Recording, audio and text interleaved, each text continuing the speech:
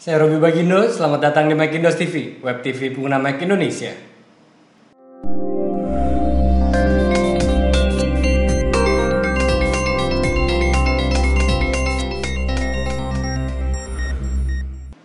Pada episode kali ini kita akan membahas seputar dashboard. Dashboard adalah tempat di mana kita dapat mengoperasikan widget. Selanjutnya, widget sendiri adalah sebuah aplikasi kecil yang memiliki fungsi-fungsi spesifik.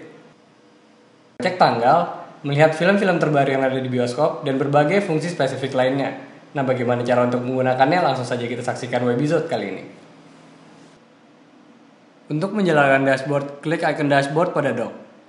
Lalu untuk menambahkan widget, klik tombol plus pada sudut kiri bawah. Selanjutnya akan muncul widget bar. Klik sekali pada widget yang ingin Anda jalankan atau Anda dapat mendrag and drop widget dari widget bar ke dashboard. Untuk mengatur posisi dari tiap-tiap widget, cukup klik and drag widget ke posisi yang Anda inginkan. Lalu untuk menutup sebuah widget, klik tombol X pada sudut kiri atas widget. Tombol X hanya akan muncul jika widget bar terbuka.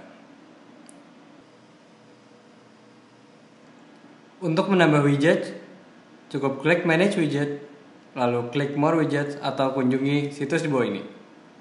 Anda juga dapat melakukan pengaturan atau melihat informasi pada sebuah widget.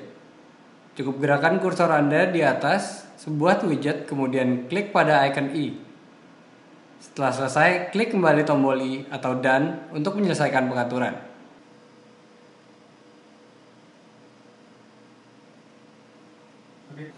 Selanjutnya kita akan membahas bagaimana cara untuk membuat web clip dan menghapus widget.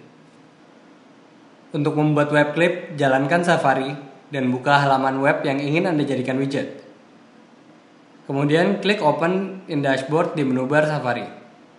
Kemudian ubahlah kotak sesuai dengan keinginan Anda dan klik Add di sudut kanan atas. Web clip akan terbuka di dashboard Anda. Dan kecepatan terbuka web clip tergantung pada kecepatan koneksi internet Anda. Untuk menghapus widget, klik tombol plus, lalu klik widget. Klik tombol minus untuk menghapus, lalu klik OK untuk membuangnya ke trash.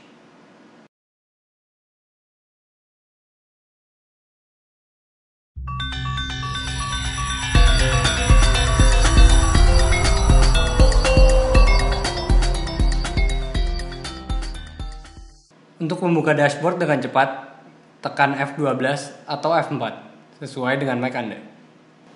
Sekian untuk Mac Indos TV kali ini. Apabila Anda memiliki pertanyaan seputar Mac, kirimkan pertanyaan tersebut ke macstripindostv@bagindo-kps.com.